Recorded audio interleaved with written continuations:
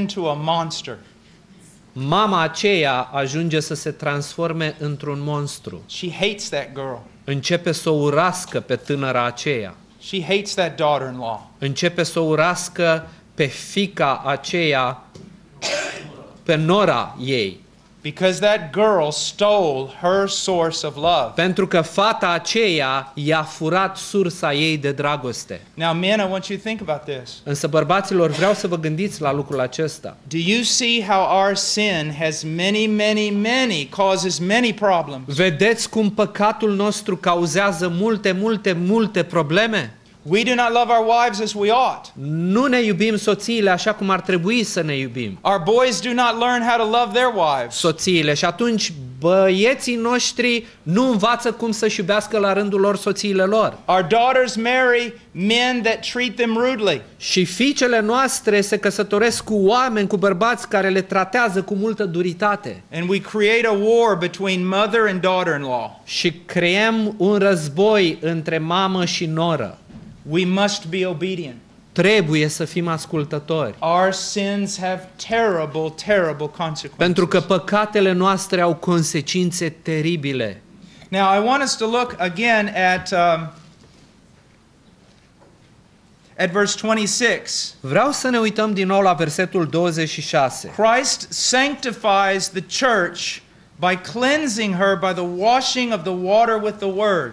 Hristos sfințește biserica curățind-o prin botezul cu apă prin cuvânt. Men, Bărbaților, we have a ministry of the word to our wives. avem o slujire a cuvântului cu care trebuie să le slujim pe soțiile noastre. Our wives will be changed as we discuss the gospel with them. Soțiile noastre vor fi schimbate pe măsură ce discutăm Evanghelia cu ele. As we minister the gospel to them. În timp ce le slujim pe ele cu Evanghelia.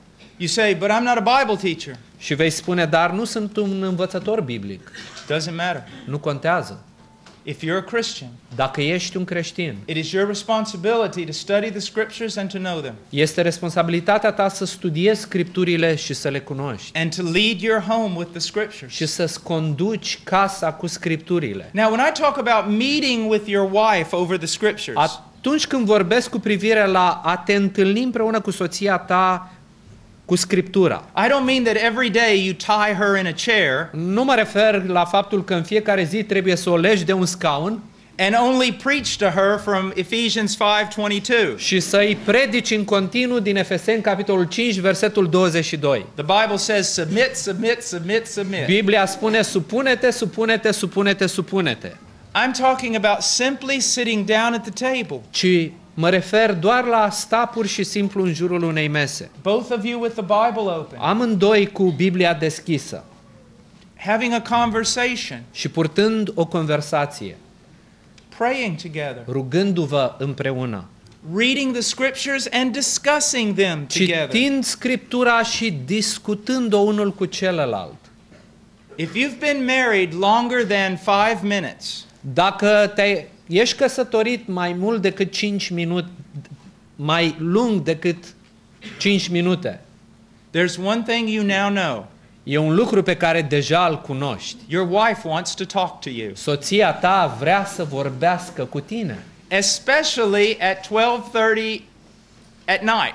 În mod deosebit la 12 jumătate noaptea, when you're trying to sleep. când tu încerci să dormi. I used to tell my wife this Obișnuiam să-i spun soției mele lucrul acesta. Honey, I'll talk to you all night, Draga mea, vorbesc cu tine toată noaptea, but you're getting up at 4:30 in the morning with me. dar atunci te trezești și tu la 4 jumătate dimineața împreună cu mine. Women want to communicate. Femeile vor să comunice, They want to talk. vor să vorbească. It's part of who they are. Este partea a ceea ce sunt ele. They want someone to listen. Vor ca cineva să le asculte. This is a perfect time. Și lucru, timpul acesta este un timp perfect. Now, I'm not saying 7 days a week, Nu mă refer la șapte zile pe săptămână, but you should have some order to it. ci ar trebui să ai o ordine în lucruri.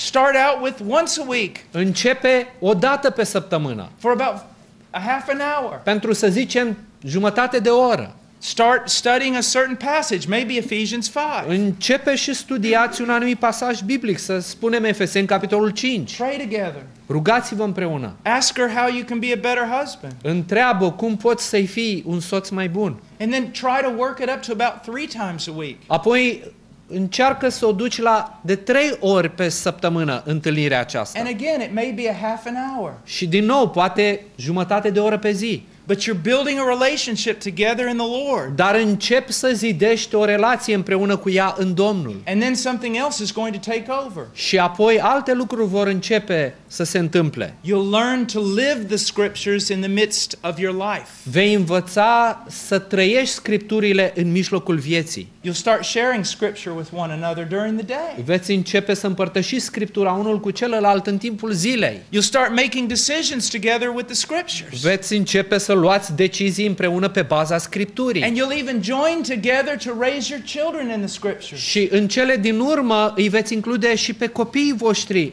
This is so important Și lucrul acesta este atât de important. to meet with her. Să te întâlnești cu ea. Men, this is this is this is essential. Este atât de esențial bărbaților. Are you going to send her to a women's group to learn everything she's supposed to know O about the să Bible? trimiți pe soția ta la un grup de surori ca de acolo să învețe tot ceea ce știe despre Biblie? It's your responsibility Este responsabilitatea to ta teach her. să o înveți. You can discuss sermons that you've heard from this pulpit. Puteți să discutați predici pe care le-ați auzit de la învonul acesta, să le discutați împreună. Take notes during the sermon. Să luați notițe în timpul predicii. Learn to apply the Word of God. Să învățați să puneți în practică cuvântul lui Dumnezeu. Now, I want us to look at why Jesus is sanctifying the church. Acum vreau să ne uităm la motivul pentru care Hristos își sfințește biserica. Let's read verse 27. Haideți să citim versetul 27. Ca să, se, ca să înfățișeze înaintea lui această biserică slăvită, fără pată, fără zbârcitură sau altceva de felul acesta, Now ci what- sfântă și fără prihană. Now, I want you to think about this. Vreau să vă gândiți la următorul lucru. When Christ died for his bride, Când Hristos a murit pentru mireasa lui, it says, while we were yet sinners, spune încă de pe vremea când eram noi păcătoși, Christ died. Hristos a murit. He did not die for a perfect wife. Nu a murit pentru o soție perfectă. He didn't even die for a beautiful wife. Nu a murit nici pentru o soție frumoasă, He died for a rebellious wife. ci a murit pentru o soție răzvrătită. But he is working to make her glorious. Dar lucrează la o, a o face glorioasă. He is working to make her pleasing to him. Lucrează la a o face plăcută lui. If a husband comes to me and says, I just don't like my wife, Și dacă un bărbat vine la mine și spune nu-mi place de soția mea, she doesn't please me, nu îmi face plăcere I say, sau nu mă, nu-mi satisface plăcerile mele. How long have you been married? Și îl întreb, de cât timp sunteți căsătoriți? 10 years. De 10 ani. Okay, what have you invested in your wife? Ce ai investit în soția ta? You, you want something from her. Vrei ceva de la ea? What have you put into her? Ce ai pus în ea? How much time on your knees praying for her Cât timp ai petrecut pe genunchi rugându-te pentru ea? that she'd be conformed to the image of Christ? Pentru că ea să se conformeze tot mai mult chipului lui Hristos. How much time being an example to her?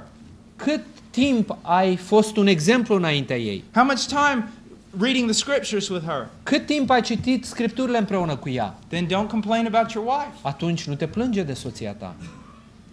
You see? Vedeți? Constantly working Să lucrezi în mod continuu to make her beautiful. ca să o faci să fie tot mai frumoasă. But remember this Însă aduceți-vă aminte lucrul to make, acesta. to make her conform to the image of Christ. Ca să o faceți să fie tot mai asemenea chipului lui Hristos, not to your image. nu chipului tău. Look at a bicycle wheel for a moment. Uitați-vă la roata unei biciclete pentru un moment. And in the middle it has an axle, an axle. Și în mijloc are un ax. And it has spokes going Și to the axle. are spițe care merg de la axul acela. The spokes never touch. Însă spițele acelea nu se ating niciodată. But as they head toward the center, they become closer. Însă pe măsură ce se apropie de axul acela, ele devin tot mai aproape unu- una cu cealaltă. You shouldn't try to make your wife to be like you.